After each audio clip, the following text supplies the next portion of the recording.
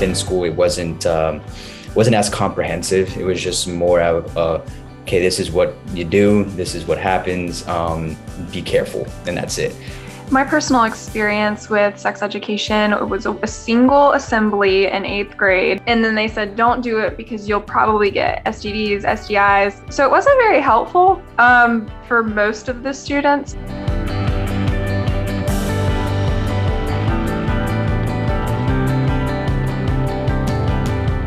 It should be something that's taught every year as your body is developing, like while you're going through school. I mean, I just feel like you should have to know this because um, it's just important to know, just like any other subject in high school is. I mean, this is your body. Really, just having it, maybe small little courses here you know throughout the years of our high school or like even just like elementary middle school and high school careers really introduce more of a welcome and welcoming setting for sure to really know our bodies and know ourselves as people. Once I got into high school and into the Youth Leadership Council, which is the program I was a part of for four years, um, I was a lot more comfortable because uh, I already briefly uh, touched over that stuff in um, past years. Fifth grade was definitely, you know, the time where, you know, well, at least for me, that was during the time where um, where I did start my menstrual my menstrual cycle, and so um, I did have questions about that. I got a lot of information from my friends and from like boyfriends and stuff like that and partners, but that wasn't as helpful as getting it from someone who was educated in the field.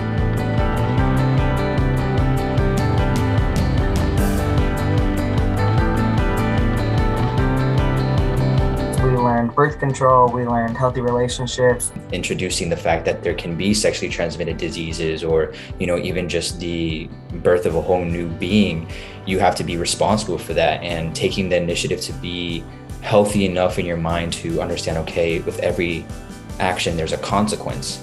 Um, may it be good or bad. Being able to sit into a special education class um, with a with a licensed professional, with with a professor or teacher in our classrooms. I think that it, it would be it's very beneficial for those who don't necessarily um, have the best family dynamic at home to ask those questions whenever they're curious.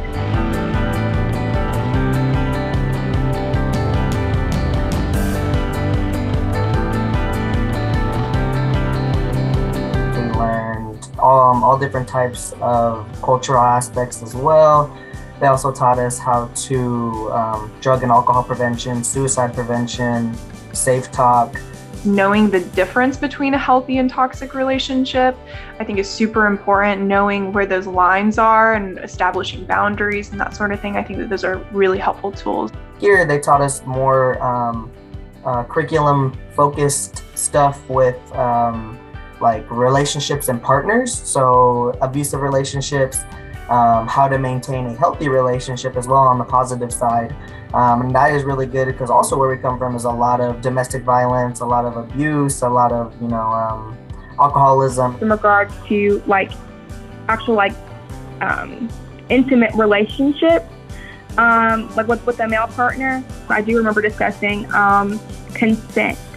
that's also something that really did stick with me as well um, saying no, when to say no, whenever you feel uncomfortable. I remember um, discussing that within that topic, and I remember that was probably the the the topic that I felt was most beneficial to me personally.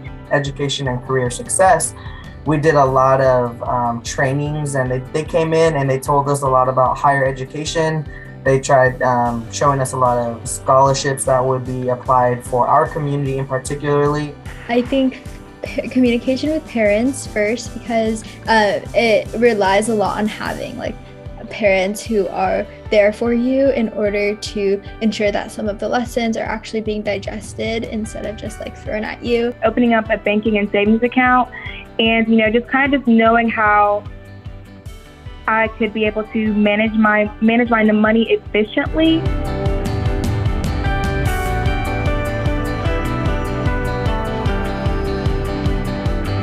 I've learned a lot more, I could say, and I'm more cautious. So for students that um, that probably that do not um, have the best sort of family dynamic in school for them to be able to ask questions about sexual education program, programs and pregnancy prevention. I think that the sexual education programs are definitely beneficial for them. And when and when I and when I did go through what I went through there, I finally realized. I mean, I don't know that condoms were safer than not using condoms. Now that I've taken these classes, I can be a better friend to my peers, and pass on the knowledge that I've learned from my health teachers. And my program was able to give me a purpose, give me a reason why to um, pursue higher education. They gave me a purpose to not make someone a teen mom um, or to become a teen dad. And they taught me a lot about how just growing up, um, things that I think kids from sixth grade should be learning now.